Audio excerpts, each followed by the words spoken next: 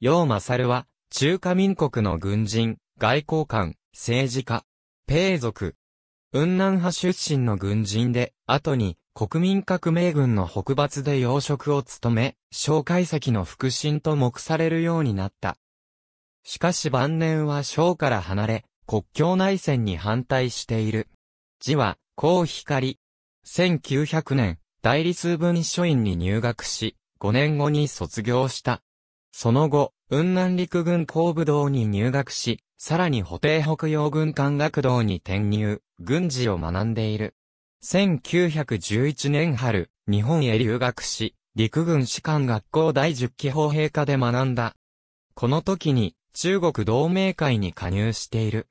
同年の武将起義勃発を受けて、一旦帰国し、武将で、革命派の北伐連ね軍総務部次長を務めた。間もなく、日本に戻って復学し、1913年に卒業した。帰国後の楊勝は、奇襲都督を務めていた、雲南派指導者、東次業に属し、奇襲部位軍不評第10団団長に任ぜられる。以後、奇襲騎兵第1団団長、天軍第9旅旅長、重慶英樹、司令官兼四川省政務庁長長などを歴任した。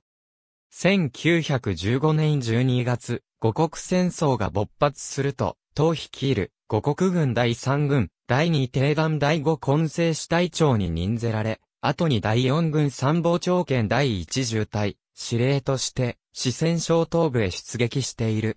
五国戦争終結後、陸軍中将位を授与された。1917年、楊勝は一度は、北京政府で職に就いたが、間もなく、昆明に戻って、東高修行に再び属する。靖国連ね軍第四軍参謀長、靖国軍中央軍総指揮兼路州永寿司令、靖国連ね軍高級顧問、雲南陸軍工部学校教官を歴任した。1920年、再び、日本に留学して、陸軍大学校で学び、1923年に卒業した。翌年に帰国すると、法天派指導者、張作林の下に向かい、上皇参謀に任ぜられる。同年冬に、兵玉将が国民軍を結成すると、要はその下に転じて、孫だけ率いる国民軍第3軍で参謀長に任ぜられた。1925年9月、国民軍前敵指揮官県下南軍艦教育団、教育長となっている。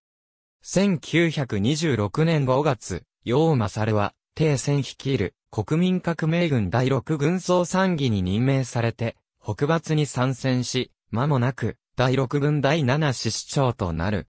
翌年、第6軍副軍長に昇進した。同年に、第6軍が南京を攻略すると、総司令部愛南行営主任権総予備隊指揮官に転じている。南京事件を起こして、帝戦が失脚し、8月に第6軍が第18軍に改祖されると、楊が同軍軍長に起用された。北伐最終盤の1928年3月、軍事委員会常務委員兼弁校長主任に抜擢され、翌月には第一集団軍総司令部総参謀長に昇進している。以後、楊は、小解析直属の腹心とみなされることになった。10月、北平憲兵学校校長に任ぜられている。1929年11月、楊勝は、当聖地討伐軍の総指揮に任ぜられ、これに勝利後、落葉行営主任権第10軍軍長に転じた。翌1930年2月には、超高要塞総司令に起用され、同年5月に中原大戦が勃発すると、第二砲兵集団指揮官、総司令部総参謀長を歴任して、小解析の勝利に貢献している。1931年11月、中国国民党第4期中央執行委員に選出された。1932年1月、楊勝は、陸軍大学校長に任ぜられ、後に校長に、小解析が就任したため楊は教育長に移ったものの、現場の指揮は楊が取っている。翌年、軍政委員会北平文会参謀長、第8軍団総指揮に任ぜられた。9月、欧州軍事考察団団長として、欧州各国を歴訪し、1934年秋に帰国、陸軍大学教育長にまた任している。12月、国民政府軍事委員会参謀次長、防空委員会主任を兼任した。翌1935年4月、陸軍中将に昇進し、11月には国民党第5期中央執行委員に再選されている。1937年8月、楊正は実業考察団団長としてソビエト連邦を訪問した。10月、陸軍上昇区組を授与される。翌1938年5月、中祖大使に任ぜられ、1940年4月まで務めた。帰国後は中央訓練団教官に任ぜられ、1944年には軍事代表団団長として欧米各国を再び歴訪している。翌年5月、国民党第6期中央執行委員に再選された。日中戦争終結後、楊正は国境内戦の推進に反感を覚え、小解析から離反していく。1945年中には、丹平山らと三民主義同志連合会を結成した。